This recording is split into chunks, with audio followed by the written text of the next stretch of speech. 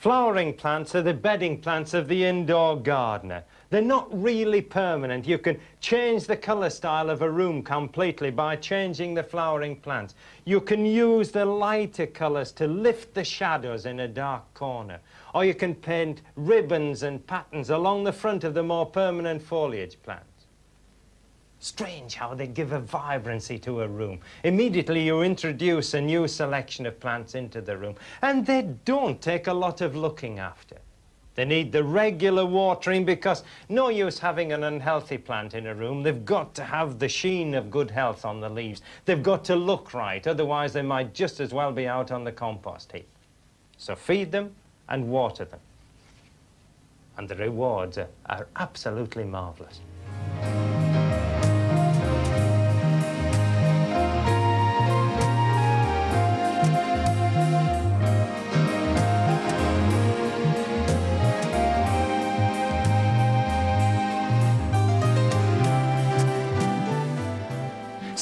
St. African violets are uh, one of the most popular houseplants and I think deservedly so when you see the quality of the flower and the subtle colours that you get. But they're not easy to grow. You've got to give them exactly the right conditions of humidity and light and warmth. But there is a bonus to counteract that. They are very easy to propagate by leaf cuttings particularly. Don't take the outside leaves. Don't bother with those because the more foliage you take from the middle, within reasonable limits, the more flower you're going to get. As you pull a leaf out, then you get flowers developing. And don't either, on the principle that those leaves are moribund anyway, take those for propagating material. You want good, healthy, disease-free foliage, like that one there. And when you take it away, pull it out right at the base. Don't leave a stump of the whole leaf there at all. You can see that's absolutely clean back to the stem there. There's no sign of the whole leaf joint at all. With all house plants, if you're doing any pruning or taking cuttings, don't leave stubs. They rot back, they rot right back into the crown and you could lose the whole plant. There's a beauty young, vigorous, just coming up to mature leaf, with the stalk coming not from the base of the plant, but from round about the middle. And the leaf stalk doesn't want to be any longer than about three quarters of an inch. So break it off. Don't cut it. You don't need a sharp knife to cut it off with. Just break it like that. And that's ideal. Any longer, and you run the risk, really, of soft rot and the plant not rooting where you want it to. And the same way with the other one break it off to about three quarters of an inch. And if I'm in any doubt about the compost, with any cutting that I'm taking, I use a mixture of equal parts peat and sand. It's funny, most cuttings seem to accept and root in that with comparative ease. And the quicker you get the leaf cuttings into the compost, the better. Make a hole with your finger, not too deep, remember, because there's only three quarters of an inch of stalk, and you don't want to hang the cutting halfway up the hole. And you put them in back to back. This is a commercial trick, mainly to get as many leaf cuttings into the smallest possible space. But the ideal conditions are there for rooting because each leaf has the maximum amount of light and there's room for airspace between the particular cuttings because even though Saintpaulias need warmth and humidity, they don't want dankness, they don't want deadness, otherwise you get fungus disease. But put these in a temperature ideally of 72 degrees Fahrenheit. It's the right sort of warmth. And you want humidity, and you can put them inside a polythene bag, provided it has holes in the side. And then at intervals during the rooting period, you take the bag off and dry it off. So you don't get the clammy moisture. You've got a, a, an airy moisture, for want of a better word, a buoyant moisture. And ideally, given a temperature of 72 degrees Fahrenheit, Within 10 to 12 weeks, you should have good, strong rooted plants with little plantlets growing from them, ready for potting off.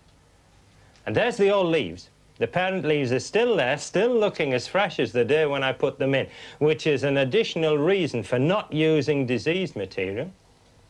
There you've got a real old cluster of plants. That's productivity, that. One leaf, and I can see two plants there. Anything more will be a bonus. But I'm not going to leave them like that. You couldn't leave them cloistered together like that. You've got to knock them out and pot them up. And don't tip the old compost. You can see how the mould has grown on the compost because you've provided the close, humid conditions that are perfect for rooting, which the Saintpaulias love. Don't tip that onto your fresh compost. Very gently. Tap on the base of the pot like that.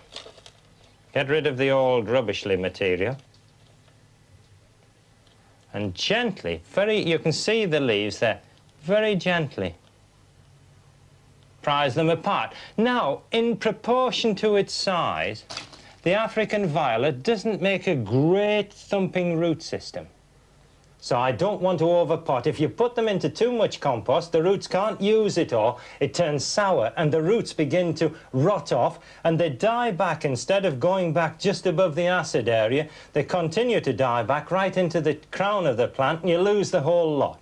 So I underpot, I give them an extra stage. And even though I've got several individually well-formed plantlets there, I'm not going to take them off yet. I want them a bit bigger before I wean them. So put them into small pots. That way they can be right through the compost within a matter of, well, a couple of weeks. The roots are using that. And I'll only leave them in there for probably five or six weeks. And then I'll repot them and take the little plantlets off and pot those up again.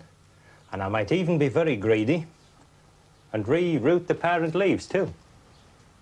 And when you've repotted like that, be very, very careful until you establish them in the new compost. Keep them particularly warm, particularly humid. Treasure them a little bit. And then, pretty quickly, you've got a plant like that. Now, that is a healthy young plant, I admit, but it's still a juvenile. It doesn't want to be messing about flowering, much as I like them. I want to build up the crown of the plant. I want a great, powerful piece of vegetation that's going to give me a heavy crop of flowers over a long period without sapping all the energy of the plant. So take the flowers off. Remember, as with the leaves, pull them right out at the base. No dead stalks left to set up a soft rot nip them off. Even though it seems like sacrilege, if you feel that way, you can apologize to the plant. Right off, clean by the stem. What a pity. But console yourself with the thought that you're doing the plant nothing but good. There it is, reduced back to the job it should be doing, which is building up that crown. Now, keep encouraging that. African violet with warmth, with humidity, with feeding, not in too big a pot again. This is enough to keep it going. I'm going to make it work for a living. And then if your growing conditions are right, you've got perfection, almost perfection, because the quality of the leaf, the sheen of health on the foliage, the great crop of flowers there. And how do you achieve that in the home once you've moved it out where you want to see it in the place you're living in? Well, you give it good light conditions, but not direct sunlight. It wants to be diffused light good light, but not powerful sunlight that makes the leaves go grey. You've got to water it, and I make certain that I'm not using cold water, not straight from the tap by any manner of means. I draw a watering can of water from the water butt, I stand it in the same room as the African violet overnight, and then I plunge it in it the next morning, because the one thing you don't want to do is get the crown of that plant wet. You want to water it from the bottom so the compost is evenly moist. And a lot of people, I've gone to many houses, you know, where they have the African violet standing in a bowl with water in the bottom. Now, you stand yourself in a bowl 24 hours of the day with your feet in water, and very quickly you'd get sick. And the same thing applies to an African violet. If you're going to put it in a bowl, then put a layer of pebbles in the bottom, keep those moist, and that keeps moist air around the leaves and keeps the plant in a moist environment without being soggy wet. Keep the temperature, if you possibly can, around 65, 72 degrees Fahrenheit. And that way you build up a healthy, glossy, bright plant. It looks good, it's growing well, it's flowering beautifully. But don't think that when that crop of flowers fades, that's it. Look after it, give it water, give it the right temperature, and there, down in that nest of leaves, you can see another crop of flowers, even bigger than the first lot. And if your plant is a wee bit sulky about flowering again, how do you persuade it to produce a second crop of bloom? Well, you can try changing the environment. Give it a change of room, put it in the bathroom, somewhere different. That might work. Check your cultivations, make sure your temperature is right, your feeding is right, your watering is right. And then finally, as a last resort, I increase the potash in the feed. Give it a high potash feed. A lot of trouble, yes. But when you look at that plant, you appreciate why the Saintpaulia, the African violet, is one of the most popular of houseplants. Deservedly so. What a guest to welcome into your house.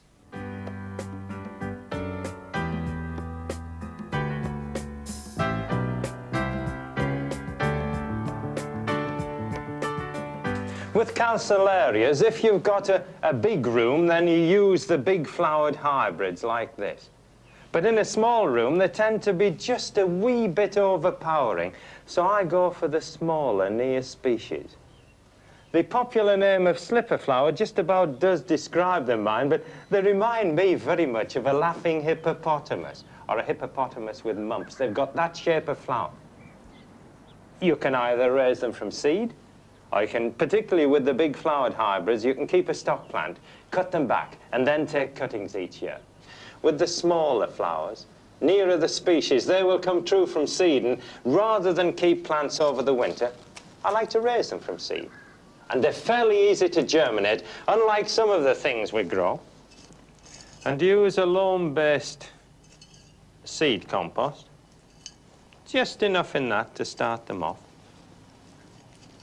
firm it down and level it off. Make everything neat because I find when you are neat in your methods of seed sowing, when you take care with the compost and make certain the top is level and you make certain the seeds are evenly spaced, then you get less problems with damping off and disease and things like that. Now, Calceolaria seed is very fine very dust-like. So don't sneeze or it'll go right over the greenhouse and you'll have lost it. And if you're in doubt about whether you can sow fine seed thinly over the top of the compost, then mix it with a little bit of sand, and that'll get the spacing even.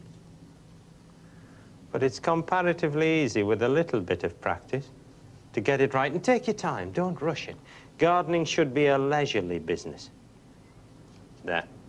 And then cover it with the finest whisper of compost or sand. Fine seed, if you cover them too deeply, they haven't sufficient food stored in the seed capsule to get above the compost surface. And you lose them and you wonder why they haven't germinated. And then gently firm it down. Just to marry the seed and the soil together. And there, you can see why the top of the compost has to be level, because now when I water, the water will sink in evenly and the whole of the compost will be evenly moist. I'll get no little hollows, no seed washing down into hollows, and they'll come up beautifully spaced. And what I do now is stand them where they're warm, cover them with a sheet of glass, a piece of newspaper, and within 10 days, depending on the temperature, they'll have germinated, and then you must take the glass and newspaper off, of course, to let the light come to them. And then, in six weeks or so, They'll have reached that stage and they're ready for pricking out. They're just beginning to get a wee bit crowded in the pot. Now here they were in seed compost, loam-based seed compost, so I'm going to prick them off now, move them from a pot to a box, into John Innes number one compost. It's got just a little bit more food in it to keep them going. What you want is balanced growth and then you get a neat, compact plant. I'm never sure what's gone on underneath the compost until I lift them out and have a look. Oh, there's a fair old root system there. That's what you want. Top is really immaterial if it's got a powerhouse like that underneath.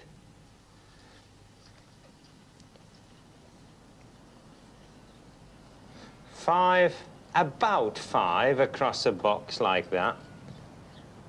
And space them out. Keep your rows straight because it's so much nicer when you look down your greenhouse and you see everything nicely spaced out. Plus the fact that if you get your spacing even, each plant has its fair share of light, food, water, and in a lot of cases air, because if you've got a good circulation of air through them, your risk of disease, of damping off and everything else is so much less and keep them evenly moist and fairly cool. Don't give them too high a temperature or you get a gaunt and leggy plant and that's not good at all.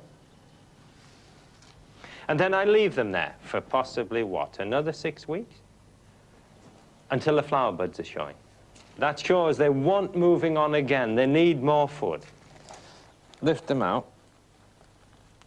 Marvellous how efficient a, an ordinary dinner fork is for separating plants. Root system good, right down to the base of the pot. Put them into a, a slightly stronger compost, John Innes number two. You're aiming at balanced growth all the time. Don't ever think by sticking a plant into a, a very, very strong compost that you're going to do it a favour. Because all you do is push it violently and you get an unbalance and it doesn't look right. Use a pair of scissors just remove that flower bud. You can see there the reason why. A mass of young shoots coming from down below. Then, after a further week or two, that's what you finish up with. Instead of one single flower stem, you've got one, two, three, four, five, all about to burst into bloom.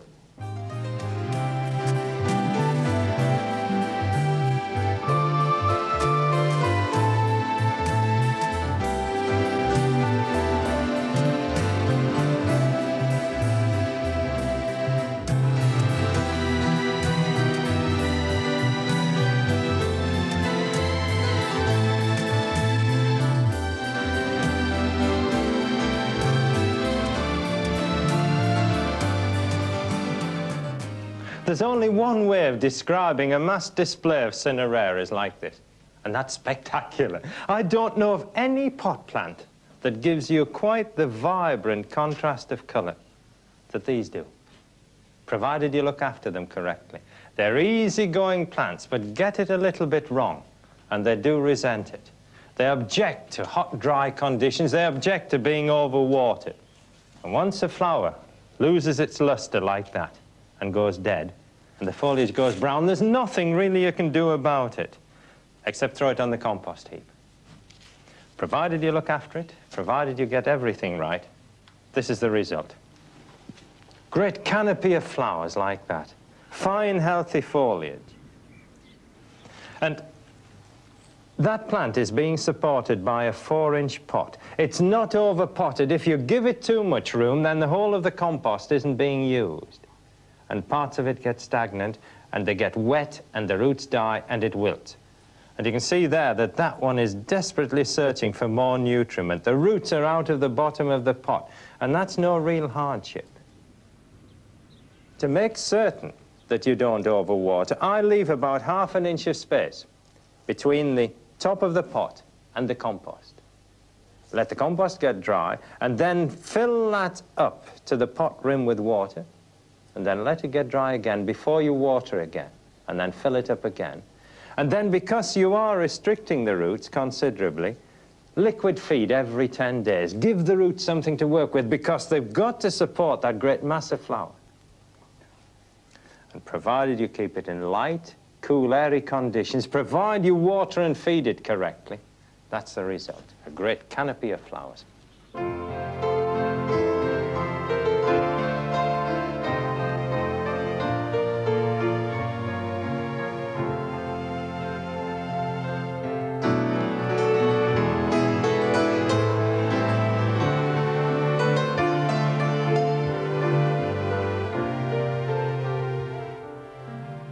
Hydrangeas in full bloom like this really are beautiful, but being shrubs, they have a habit of getting too big for the house. And when that happens, you can put the old plants out in the garden, but first take some cuttings. Now, you can go over your plants when they're at this stage and take any non-flowering shoots which show as cuttings. But I prefer to save a stock plant and to cut the shoots hard back when they're finished flowering. Cut the stems back too four or five inches.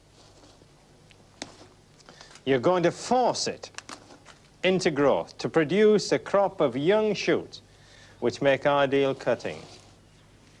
And what I'm looking for are three pairs of leaves, if I can possibly get them, and a growing tip. That shoot there is just about right, but because the hormone concentration, unlike other plants, is fairly well diffused through the stem, you don't have to cut underneath a node. Cut between a node, and that gives you a piece of stem as anchor, because what I'm aiming for is to bury that leaf joint about half an inch in the compost. Take the lower leaves off with a sharp knife, and dip the shoot end in rooting powder. Everything that helps, I believe in using. Make a hole in the pot. Push it in just deep enough to bury that node half an inch. Now, all that rooting medium is is sand. Soft sand. They seem to like a soft sand to root into, not a really sharp one. That one I cut underneath the node because really by using as many leaf joints as you can buried in the compost, you've got a better chance of rooting. And if the top leaves are rather big, cut them down by half. It stops transpiration because what you're doing is you're removing a shoot from the parent, you're cutting off all the moisture supply, and if you've got big leaves losing moisture, you've got more risk of the cutting dying without rooting. Push it well into the compost and firm it in. And there's room for one more. And that one there, which is going to, with a little bit of luck, give me three plants. There I've got the one, two leaf pairs of leaves and the growing point with another pair of leaves just opening. Take the lower leaves off. Lovely strong cutting that. Dip it in the rooting powder, knock off the surplus. And you've got to keep them moist, you've got to keep them humid, otherwise they dry up and die off. And you can either put them in a propagating frame, or you can put the whole pot inside a polythene bag. But if you put it inside a polythene bag, make sure the leaves aren't touching the sides of the polythene, otherwise they'll damp off. And you treat the cuttings exactly as you treat the parent plant. You keep them moist, you keep them humid, because when a big hydrangea is in growth and about to flower, you can't water it too much. I water them every day. And they take it up. They love this moisture. They seem to, to grow with increased vigor. And six weeks later, it's obvious that the cuttings have started to root, the tip is breaking away and growing, and the leaves have come away. Usually when a cutting doesn't root, except for the odd occasion, the leaves stay put and just shrivel. That's rooted. Goodness. That's rooted. Absolutely. There's a good solid root system through the sand. It's hungry, the leaves are going orange because there's nothing in the sand. So get it potted off. And I use a John Innes compost, but with no lime in. If you put lime in, you get pink hydrangeas. If you use an acid compost, in the main you get blue ones unless you're growing a naturally pink variety. Make sure the young plant is well potted, of course, but the secret with hydrangeas is to keep them moist. They do need a tremendous amount of water when they're growing. Look after them properly and you should get magnificent blooms like these. Azaleas are one of those seasonal house plants that produce a mass of brightly coloured flowers just when the gloom of winter seems to press us its heaviest. But they are expensive, so look after them. Keep them in cool, humid conditions. If you put them in a high temperature, then the flowers are quickly over and the foliage begins to scorch. Give them watered and fed. And then about the middle of May, put them out in the garden in a cool, shady place and mulch them in peat. And then you want to aim at keeping the first plant for as many years as possible, and each year take cuttings. And that way you finish up with a forest of azaleas. Absolutely beautiful.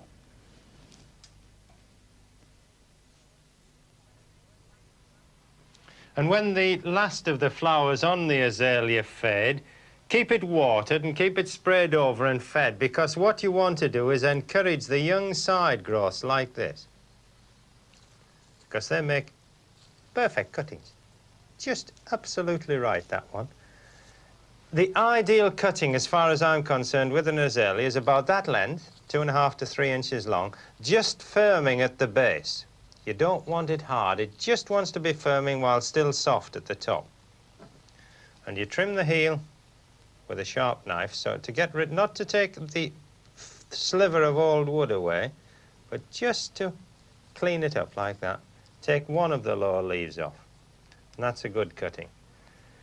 And I'm very particular about the compost that I use for rooting azaleas. It's a mixture of two parts of peat and one of sand, and the sand must absolutely be lime-free. Any hint of lime in a compost for azaleas, and they get very unhappy indeed. Fill a pot up and just firm it lightly, briefly, and then dip the end of each cutting in the rooting powder, and dibble them in round the edge of a clay pot. I use a clay pot. They seem to be happier rooting in a clay container. And make sure, always, with every cutting that you put in, that there's no airspace at the base. It is vitally important that you don't hang the cutting. And when you water azaleas, remember that they don't like lime, so use rainwater if you can possibly get it. Firm them in. Usual couple of taps to settle them down. Keep them moist, keep them humid, Ideally, if you haven't got a propagator, then inside a polythene bag after you've watered them, and you create the micro-humid climate that they need to root in. And if you've given them the right conditions, they'll root in four or five weeks. If you can't, they'll be much slower, anything from eight to 10 weeks. But if you get it right, eventually you'll finish up with something like this. Now, it's obvious that those two have rooted there. They're into growth. The first signs of rooting are when the growing point breaks and you get young leaves at the top. But I can't tell how well they're rooted until I knock them out. I'm not going to try and fork them out, I'm going to knock them out. Very gently.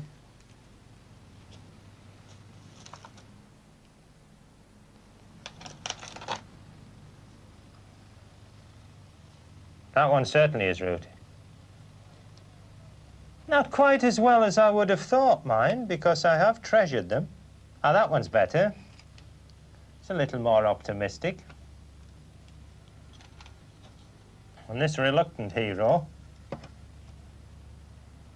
hasn't rooted at all. Now, that is quite extraordinary because they were all taken at the same time. They were all taken from the same plant. They were all rooted in the same conditions. One's got a titchy root, one's got a bigger root, and one's got no root at all. But if you look there, the callus has formed. That means it's going to root. So I'm not throwing it away. I'm going to put it back into the compost.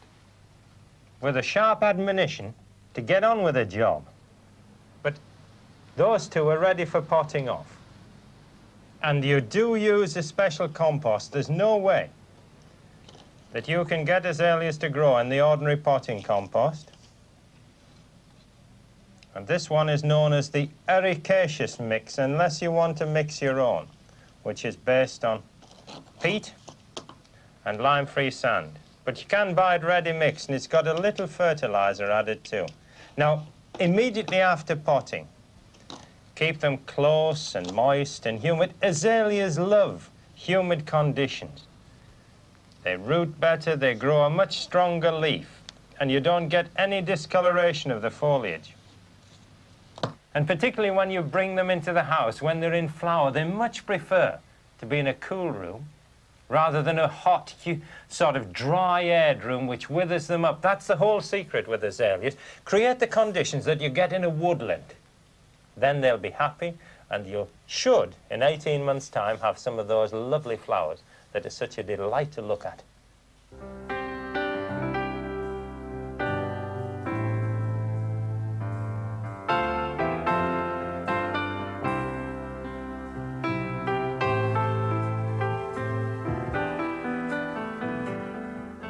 Christmas cherry, Solanum capsicastrum, really in the colour of the berries and the dark green of the foliage, express the festive season, but when you walk through a greenhouse and see a great mass of plants, what do you look for?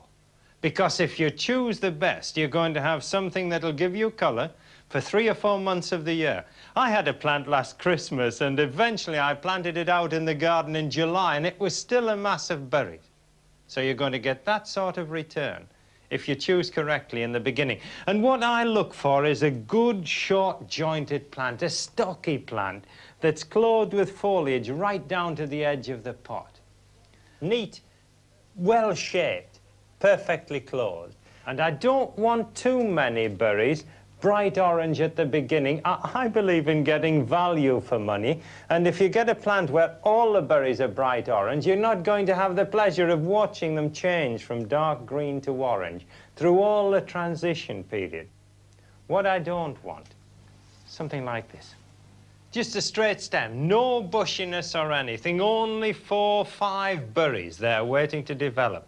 No, there's nothing I could do to turn that bad plant into a good one. I couldn't prune it, I couldn't feed it, I couldn't do anything to it because it's spoilt initially.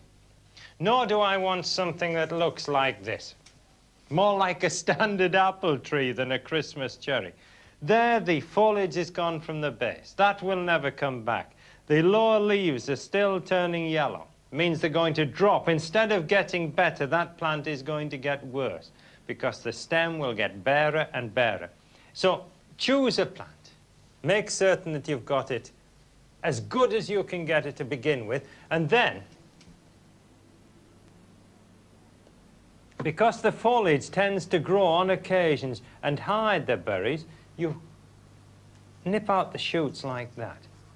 What you're doing is showing the berries off against the dark green background, the more you finger prune it within reason, the bushier, the better foliage you're going to get there, and the berries sit on it like a dark green cushion, the bright orange against the dark green.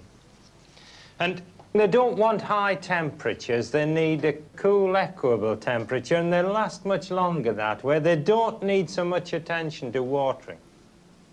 And when the plant is finished, the berries are over, you prune it hard back, and that makes it produce a mass of good cutting wood like that. And the compost that I put them into is two parts of sand, one part of peat. Another one, trim it. Take off any foliage that's going to be below the level of the compost. Dip it in rooting powder. Another one round the edge like that. And that one, you don't want a whole forest of Christmas cherries, so don't take any more than you need. And pop the pot and cuttings inside a polythene bag, but always when you put any cuttings inside a polythene bag, make sure the foliage doesn't touch the polythene. When they're rooted, they'll start into growth, and you pot them off and you keep them growing on.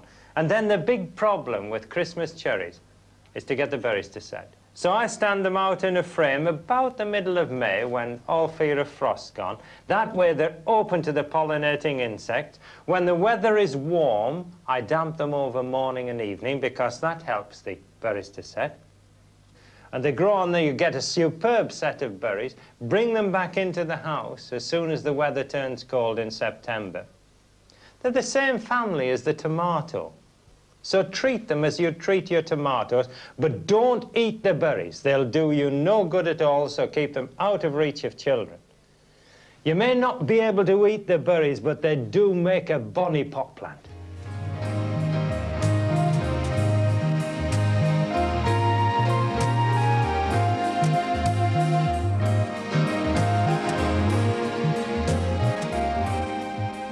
Cacti and succulents are especially interesting. Many of them come from the desert regions of America, and the stems function instead of leaves. If they had leaves in the desert, of course, they'd dehydrate and die. And a lot of people start a collection with one plant because, well, you can neglect it. You don't have to be continually watering it. But that's not the best way to grow cacti. Once you see them in flower, once you realize what an infinite diversity of stems and shape there is, then you begin to want to pursue that interest, to grow all the different species. But there's one bonus once you start a collection and they begin to flower. You've got the opportunity there of raising the plants from seed because they do set seed with a little encouragement. And if you look closely into the flower, that one there is not quite ready. It's just beginning to open because when the flower is ripe, the stigma comes up above the stamens, it protrudes above it, grows out from amongst them. Look at that flower there. There it's happened. The stamen are down below, the stigma is pushing up through them ripe, and with a little encouragement, taking a pair of tweezers, and pulling some stamens off another flower that are shedding pollen, and then very gently dust it over the sticky head of the stigma, because both the pollen grain and the stigma are sticky receptive like that. You can make a noise like a bumblebee or a moth. I don't know whether that helps. But what you're doing is the work of the bee or the moth in transferring the pollen from one flower to another one. That pollen grain will germinate and grow down the style and fertilize the ovaries.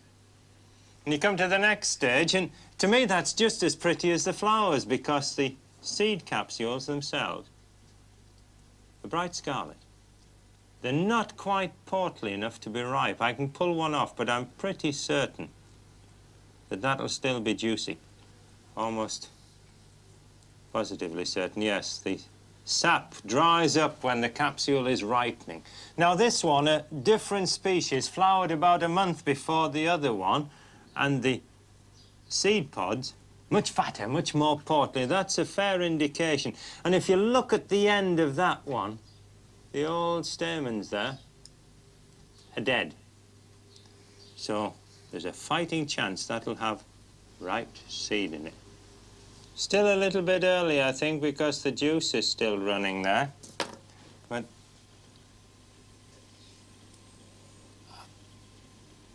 there, the seeds there, look.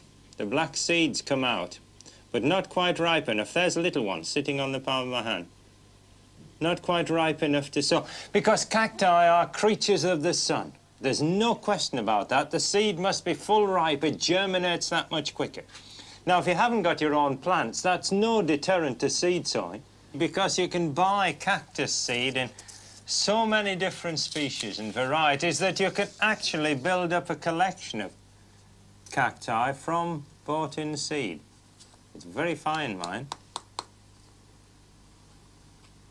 The temptation to open the box the wrong way. That's it. What do you get for your money. Very fine, very dust-like. So I saw it off a paper. And the sowing medium, well, I find vermiculite is just the right stage of inertia and yet contains sufficient nutriment to boost the seedlings into growth. Sowing into compost is a problem. You tend to get it too wet, etc. Whereas vermiculite will take up water to a degree until it's saturated, but the surplus drains away. There's no question of stagnation. And it doesn't grow algae and moss and all the other rubbish that the standard compost seems to do. So use vermiculite. Horticultural vermiculite, don't nip along to the local building site and get some of theirs because that tends on occasions to be very limey. And when you buy vermiculite, it, you buy it by bulk, not by weight, because it is very, very light. And then what I'm going to do with that is to take it and plunge it in a bowl of water because I want the vermiculite evenly moist before I sow the seed. You can see the water coming up, just speckling the surface of the thing. It takes up water. It's very, very hygroscopic. Now that is evenly moist. The moisture is right through. Every grain is super saturated. And that's the way that vermiculite drains. All the surplus gone within seconds of lifting it out of the, container and yet leaving the main body that you're going to sow into. Absolutely saturated. Now the exciting part, the sawing, and using the blade of your knife Just get the paper like that.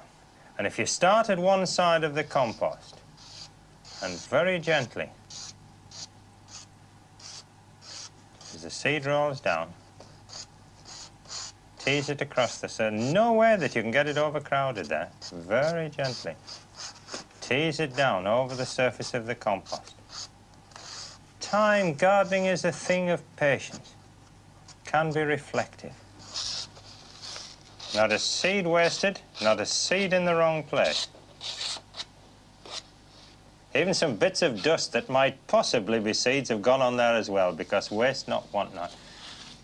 And then cover it with a sheet of glass. It keeps them warm and it holds the moisture in, and they will surely germinate, sometimes in three days, sometimes three weeks. In fact, these have taken three weeks to push up. And if you look closely there, the little specks of green, cradle stage cacti. And there you can see the affection that the roots have for the vermiculite. That thing is actually clinging on to that vermiculite as if it was its mother. And this means that when you move them from the compost, there's the minimum check to growth because they take a little vermiculite mother along with them and re-establish so much quicker. Not quite ready yet for pricking out. Drop him back in. He can get on with the business of growing there as nature intended. And then when they get to this stage in about three, four months, there you can prick them out. They're big enough to handle, and I'm certain that they'll have this same affinity for the vermiculite. There, see? How it's clinging round the roots. They don't make a very big root system, but enough to support the plant. And now they're ready for transferring to the seed tray. And at this stage, I use a mixture of three parts of three millimetre grit and one part horticultural grit sand. Now, there's no nutriment at all in that medium, so you've got to feed them.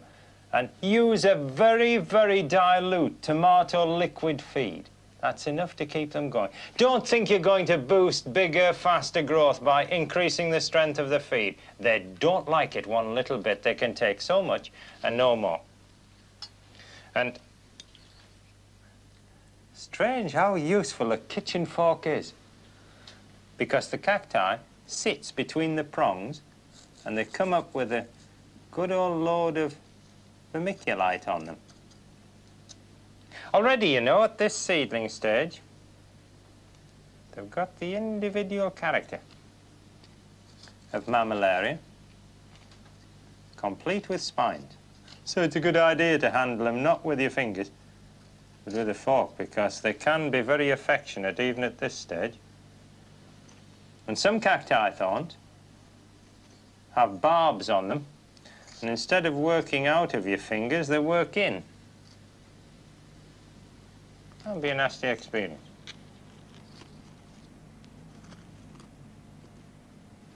Space them out evenly over the tray. It's so much nicer when you finish the work, when they look neat and tidy, and it has the additional advantage of giving each one a share of the space. And even in a seed tray, you'll find that individual seedlings within one particular species, some will grow faster than others.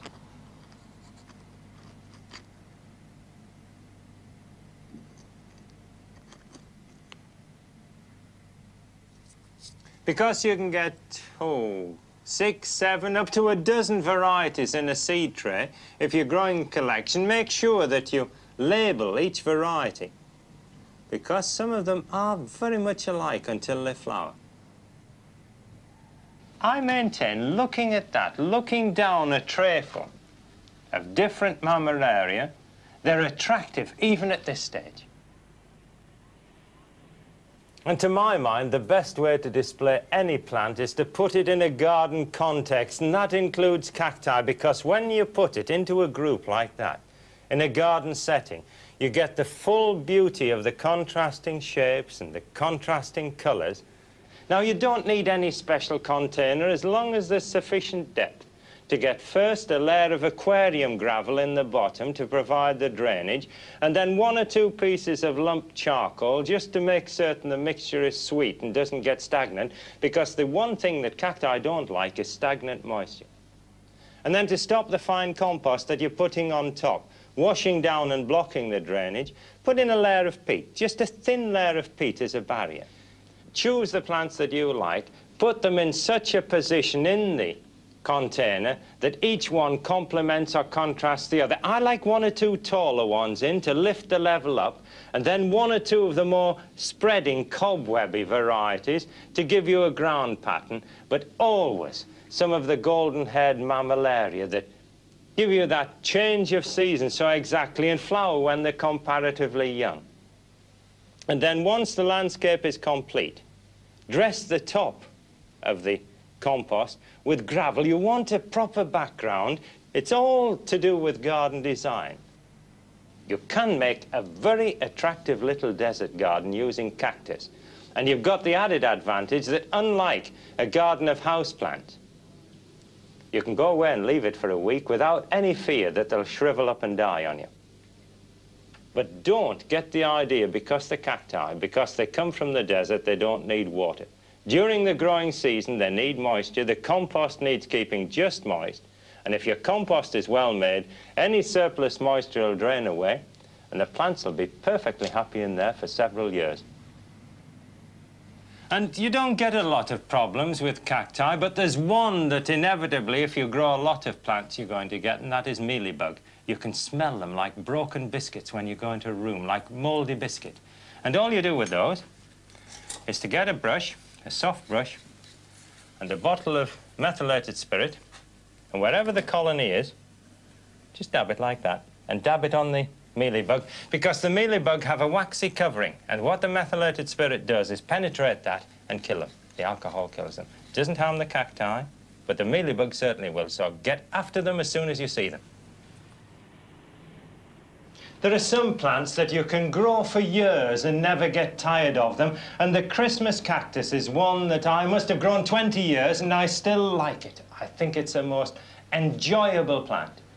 And the great beauty, this is the sort of thing that you'd buy if you went to a garden centre. One plant in a pot. And the great beauty of them is that they flower when they're very small. You don't have to wait years for a plant to mature. And they flower over a long, long period. Some flowers full open like that, you get a massive display.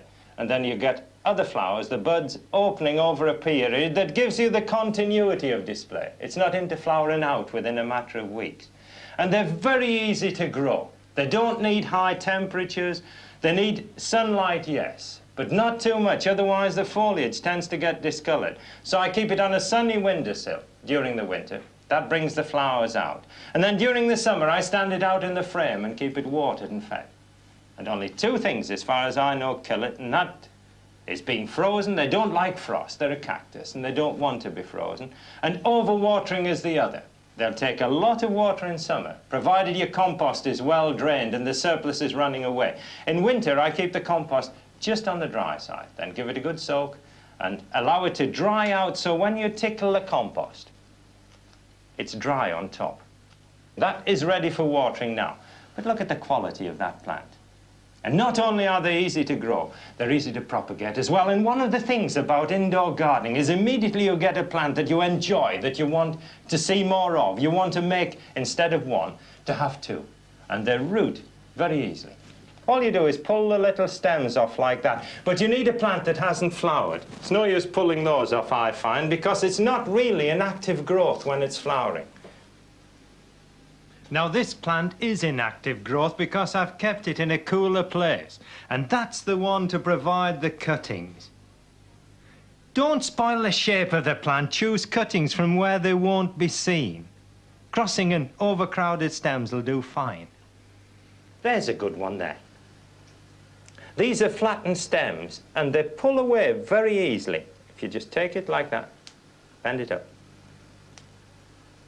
No sign of damage hardly, a little tiny mark. And that's your cutting. It's not too big. Get them too big, be greedy, and they tend to wither at the ends before they're rooted properly. Just about the right size. I might even get flowers from that the first year after rooting. It's one. There's another one in there. Down in, growing across. It'll be hidden even if it does flower. Just pull it away there. You can see how it joins into the stem. And the third one.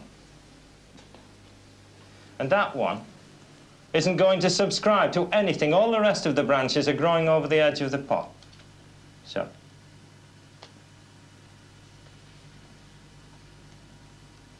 That one has a, a better hold on life than the other two. But a little persuasion, and there it is. And that's the sort of wound, at the very worst, that you get. It's not really a wound, and it calluses over very quickly. And those are the cuttings, and they're just like any other cutting, providing you realise that these are flattened stems, they're not leaves. And the compost that I use is loam-based, the John Innes seed compost, but with extra sand added. It needs to be gritty, it needs to be free drainage. And the one thing you don't want with any cuttings is stagnant water. Keep it moist, the surplus water goes through, and then you get root formation very, very quickly. It's a lovely compost, that. Very gritty. And put the cuttings round the edge of a clay pot. I, I do like clay pots for cactus. I, I, can adjust the watering better. I think the clay being porous enables the plant roots as they form to breathe through the side of the pot. And I'm going to gain an immediate effect, so I'm going to put them round the edge of the pot, and the cutting has a natural curve. You can see how it arches over. And I'm going to encourage that by putting it in that way. So as it roots, it arches over the edge of the pot. I bury, or almost bury, one of the flattened pieces, like that. One into there. I never get tired of taking cuttings. It doesn't matter how many you take. There's still an excitement of thinking, well, my goodness, I've got one Christmas cactus. If all goes well, I'll soon have four. One big one, three little ones. They're settled in. All I've got to do now is give them the conditions for rooting the quickest possible way. Water it well and then keep that warm. Keep it moist. And then when they've rooted, I've got two options, really. I can either do what I did here and pot them up into a bigger pot, one, two, three cuttings, so that I get a big plant immediately, something that looks enormous, something that, when you think that every one of those flattened stems is going to produce a flower, you can imagine what a spectacle a big, mature plant of Christmas cactus is when it's in bloom. That plant has been watered, looked after. It needs copious watering during the summer. I give it a holiday in the frame, I keep it fed, and then you get the sheen of good health on the leaves. That's what, I mean, that is a foliage plant. Doesn't really matter if it flowers or not. It's got quality foliage, it looks healthy. And there's nothing more satisfying to a gardener than a healthy-looking plant. Or I can pot them up individually and finish up over the course of years with a patriarch, something that looks like that. That plant must be, I should think about 14 years old now. I can't remember exactly. It still gives me the same pleasure, the same delight when it's flowering like that as it did when it flowered the first time as a cutting. Beautiful. You put that down in a room, and the eye is taken straight to it. It lights the room up by the quality and the colour of its flowers. And this is one of the things you've got to remember with indoor gardening. You want something attractive. The setting must be right. The context must be right. You get the light through a window, through those flowers, translucent at a time of the year when you can't garden outdoors. And this is the great beauty of indoor gardening. It doesn't stop when the winter comes. It doesn't stop when the weather's unkind outside, when there's snow a foot deep or the ground is frozen hard or it's throwing it down. You can turn in and get the same satisfaction from growing good plants indoors, from growing plants that flower like that indoors, as you get from the open garden in the summertime.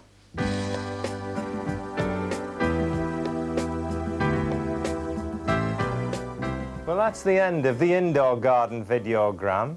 I hope I've given you some idea of just how you can use plants in the home and how much pleasure and satisfaction you can get out of cultivating them. There are other videograms in the series on vegetables, on fruit, on flowers, and they're full of practical hints as well.